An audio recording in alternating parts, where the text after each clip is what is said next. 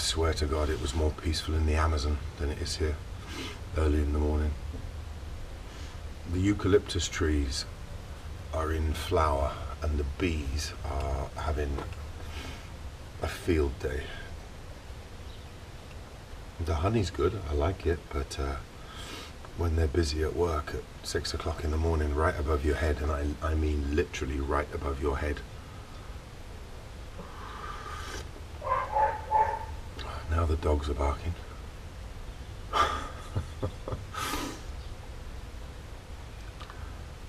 what a way to wake up. A pair of birds that you're desperate to film and you've only actually filmed for 30 seconds in six weeks. A million bees, two dogs, chickens and cockerels.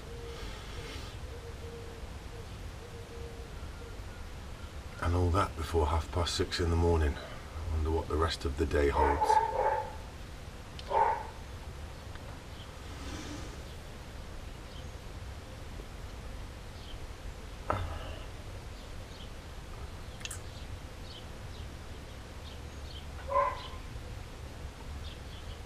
And of course the ever-present mosquitoes.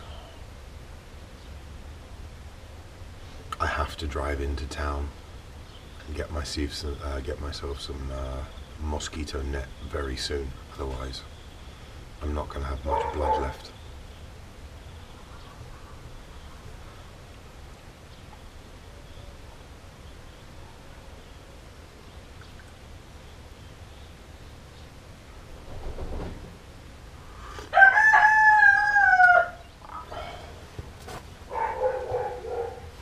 Not sure whether to spend the day in the visitors centre trying to catch up on uh, backing up some of the footage and switching it to a different hard drive for security, two hard drives, in an air-conditioned room opposite a pretty girl who speaks English, or go and get sunburnt trying to film the eagles.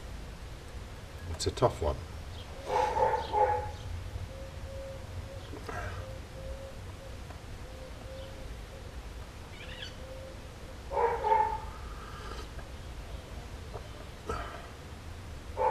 Think I have minimum two, uh, up to about three weeks left with the eagles, I'd say, in the nest um, until they fledge. They will return, but I'm desperate. I'm really desperate to film the adults flying in. It's eluded me so far. I know it sounds ridiculous, but it's not as easy as it sounds because they can travel, they can fly in very quickly.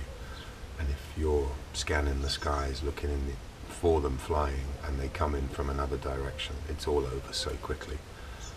And some of the locations I've been so far have been restricted with the with the views. The last time I tried, the eagle flew in directly. I was on the opposite side of the reservoir, the eucalyptus tree where the nest is, it flew in directly behind the nest. 14 hours I'd waited. 14 hours, and most of it was in hot sun with no shade. And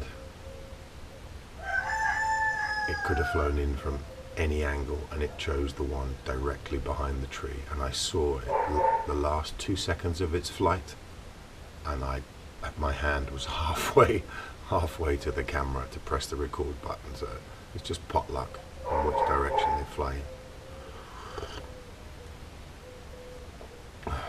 So it's either visitor center, pretty girl, air conditioned room, and a coffee machine, and catch up. Or wait for Pepe to open, grab the kayak, and then head to the reservoir, an hour's drive over a dusty, bumpy track, and spend the next 14 hours.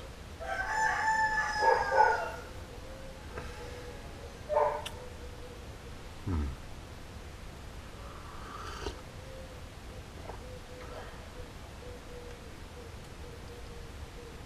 Oh, tired.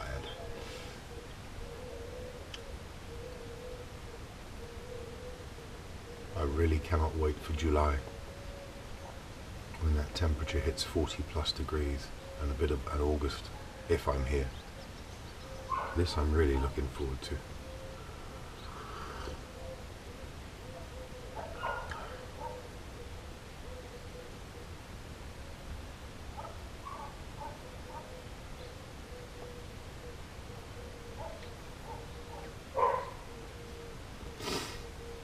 Oh, mosquitoes. Nearly drove over a cat two nights ago. And I don't mean a domestic cat, I mean one of the world's rarest cats that I'm here to film. I was driving back from a day at the reservoir filming the eagles and it was 11 o'clock at night and luckily um, I stick into my normal 15 kilometers an hour a for so I don't destroy the oil sump on the car and B because there are possibilities that you will encounter wild deer or a lynx on the road. Um, so for this reason I drive really slowly and I came around a bend and this lynx just appeared literally a meter in front of the car and just walked straight in front of me. Uh, I slammed on the brakes and it stopped. It literally stopped dead in its tracks and I couldn't see it. The front of the Toyota Previa's got quite a long nose and quite a, a, a deep dashboard and I didn't hear a bump or feel anything luckily but when I looked out the window the front bumper was about 20 centimeters from this animal's head and it just stood there and looked at me and I have no idea what I would have done at 11 o'clock at night if I'd just killed one of the world's rarest cats. And, but a lot of the people here drive very quickly, or much quicker than I do along this road. There's a guy who works for the, at the dam for the local electricity company, Endesa. And uh, if he'd have been driving like his normal Fernando Alonso uh, impersonation that he does on his, on his big Land Rover every day, the cat would have been He'd have been pussy pancake, believe me. It's unbelievable how fast some of them drive in, in on these roads when they know that there's a huge amount of deer around, wild boar, and a number of uh, of these Iberian lynx, which you know, a couple of hundred left in the wild. Is uh, it's that's why it's the world's second rarest cat, but they don't seem to care. Some of them, it's uh, it's their job and my heart appeared in my mouth. Seriously, I actually thought I'd hit it. I didn't feel anything, but my first thought as I hit the brakes was, I'm going to kill this beautiful male Iberian lynx. It had no collar. It didn't have a tracking collar on, so. But that would have taken some explaining, wouldn't it? Pulling into town at 12 o'clock at night at the Guardia Civil with a dead lynx in my arms to report it. The one who's here to film them.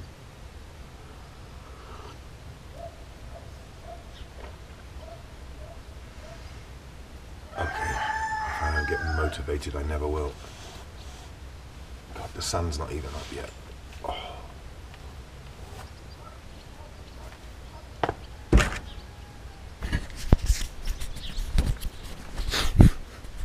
Home. that is home. It has been for the last two months.